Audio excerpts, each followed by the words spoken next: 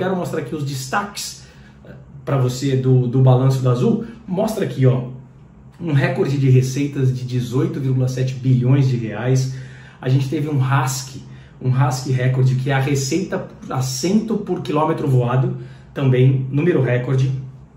O EBITDA, o EBITDA que é o que a empresa ganha antes de começar a pagar os impostos, depreciação e amortização, de 5,2 bilhões. Um número já foi maior 2 bi acima de 22 e eles já colocaram ali agora as estimativas para 24, o guidance, para cima de 6 bilhões, ou seja, números muito positivos. As perspectivas para 2023, que é esse guidance, foram todas batidas. A gente teve aquele, durante o ano passado, teve ali o plano de otimização de capital em que a Azul conseguiu renegociar dívidas jogando elas mais para frente, o que na época subiu bastante as ações da Azul, um destaque muito positivo de 2023. E aqui, por último, mostra ela como a segunda companhia mais pontual do mundo, sendo que no ano anterior ela era a primeira. Então ela desceu só um posto, então continua como um, um ponto muito positivo. E aí a pergunta, por que, que a queda tão forte né, do preço das ações da Azul? Eu quero trazer um gráfico aqui para você, que é esse aqui. Aqui é um gráfico de do índice de, de, de, taxas de juros futuros do país. Então aqui essa taxa de juros é de 2027 e o que, que a gente vê aqui? A gente vê que ali na transição de governo, quando a gente teve a mudança né, de Bolsonaro para Lula, o pico ali chegou quase a 14% aí nessas taxas de juros. E depois que o Lula entrou, essas taxas foram recuando, o mercado foi ficando mais calmo. E o que aconteceu agora aqui em 2024? Olha, as taxas já estavam ali sendo praticadas abaixo de 10%. E nas últimas semanas, né, principalmente aqui nas últimas quatro semanas, as taxas subiram de 10% para 11% que é uma subida muito forte para um mercado como esse. Então, quando isso acontece, geralmente as empresas que, que são endividadas, que têm dívidas altas, como as nossas companhias aéreas, isso machuca muito o preço porque dificulta a capacidade delas de pagar a dívida, sendo que o juros no futuro está sendo mais alto.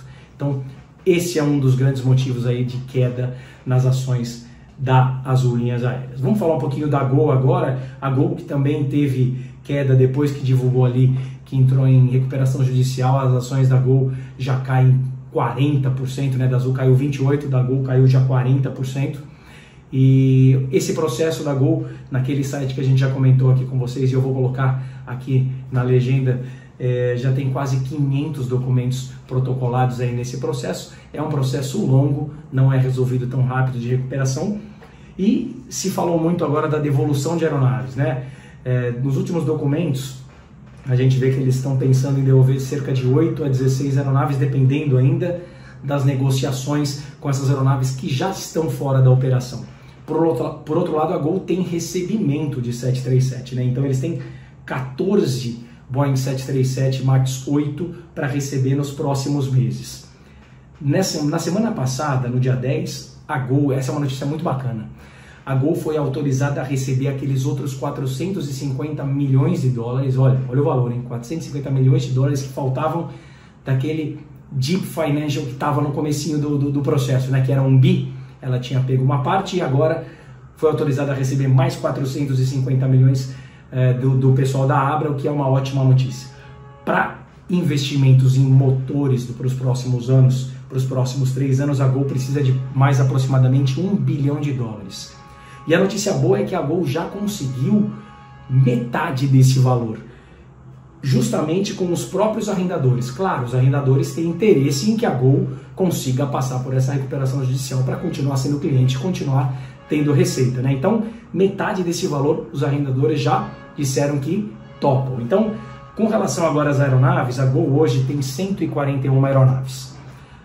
Dessas que talvez sejam devolvidas, muitas delas já estão sem os motores. Então, nessa semana, a Gol chegou a um acordo com uma empresa chamada AirCap, que dentro dos documentos que a gente olhou ali, talvez seja o maior o maior arrendador né, de, de aviões e de motores da Gol, por volta de 39 aviões, e é uma empresa que começou esse relacionamento com a Gol desde 2001, ou seja, desde o início da Gol. Então eles conseguiram um acordo bacana com eles, o que vai fazer com que essa, essa relação perdure por mais tempo e eles consigam. A Gol vai ter que pagar um valor agora aqui na cabeça, mas como ela recebeu já esses 450 milhões de dólares, tá tudo certo e continua. Os últimos números da Gol com relação ao mês de fevereiro, que são dados ainda não auditados, que eles são obrigados a declarar nos Estados Unidos, apresentaram receita de 1,38 bilhões de reais e um prejuízo de 160 milhões de reais. Bom, a, redução da frota da Gol, na verdade, é esperada, né? Quando você entra em recuperação judicial, é, basicamente você está pedindo um tempo para poder é, é, reestruturar o seu negócio e poder pagar as dívidas que você não conseguiu pagar. E, e é claro que para isso você precisa mostrar que você vai ser mais lucrativo. E para ser mais lucrativo, você precisa diminuir de tamanho e focar naquelas rotas que você vai ganhar mais dinheiro. Isso é, é, é inevitável. fica aí a lição: a Latam, por ter sido a primeira a entrar no processo de recuperação judicial, ela sai antes e, portanto, sai fortalecida é, frente às suas duas concorrentes e está podendo voltar a investir, voltar a crescer. Então, eu acho que é, é a dinâmica mais ou menos, mais ou menos esperada. É, é tem se comentado aí sobre uma possível fusão entre entre Gol e Azul, o que seria o retorno, né? É, participei da entrada da Azul no mercado, um dos principais uh, motivadores uh, dessa entrada, porque tinha duas empresas só.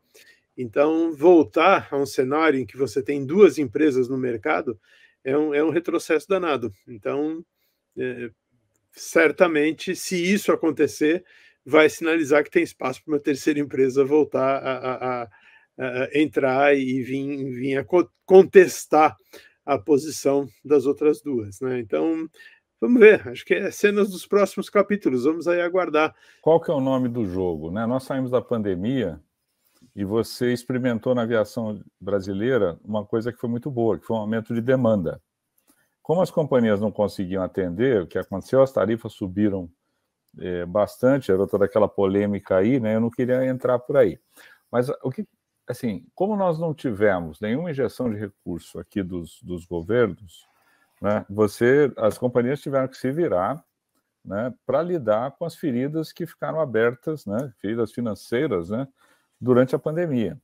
E nesse ponto, a Latam levou uma vantagem danada, né? Quer dizer, você não pode nem dizer que que está certo ou está errado, porque é tudo muito circunstancial e você estava com pouca informação. Mas o fato da Latam ter entrado no Chapter 11 durante a pandemia lhe deu uma condição de negociar com os credores diferente. Porque, assim, por exemplo, os lessores, né?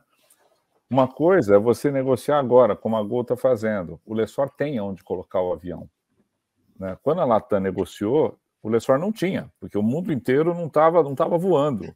Então, assim, você estava numa condição negocial é, melhor. Então, assim, quando você junta tudo isso, você vê, a Azul fez um belo trabalho de renegociação de dívida, como Pescada falou e nós acompanhamos. A Gol está fazendo um trabalho muito forte nesse Chapter 11, ela está trabalhando muito e assim vai, vai garantir a sua perenidade, é, a meu ver, né? mas vai sofrer, tanto o Gol quanto o Azul, sofrem um pouquinho da falta de você poder colocar a oferta na medida que o mercado quer, na medida da demanda. E isso beneficia a Latam, por dois motivos. O primeiro, por causa dessa.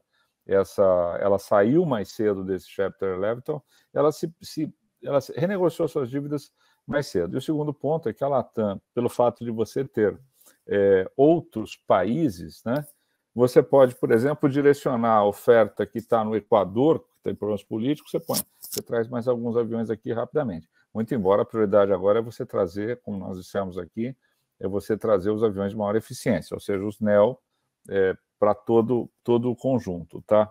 Então, assim, no fim do dia, é natural e até que a situação se equilibre, né? você vai estar tá vendo quem tem capacidade de oferta vai buscar satisfazer a demanda. O PIB nosso aqui vai crescer quase 2% esse ano. A relação, senhor Adalberto é, é, me corrija aí, por favor, a relação é de duas, duas, duas vezes e meia, uma relação histórica de crescimento do PIB contra a demanda que a gente experimenta. Então, o mercado vai crescer uns 4% aí, né? 3,5%, 4% sendo conservador, alguém vai é, satisfazer essa demanda, tá?